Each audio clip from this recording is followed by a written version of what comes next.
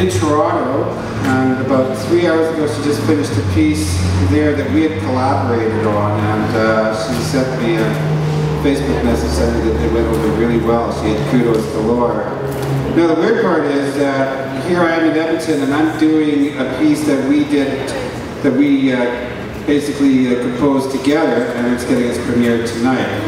Um, no flute, sorry, but uh, this one is a bit more of a futuristic retro thing, very reminiscent of those uh, uh, documentaries from way back when called Tomorrow Today, which was all sort of really dorky electronic sounds and stuff. So she sent me about four loops of composition, which I put onto a sequencer, and I had four.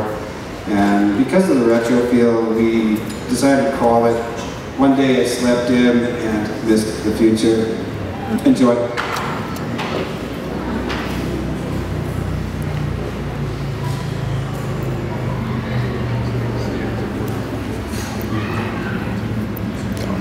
This building's bad.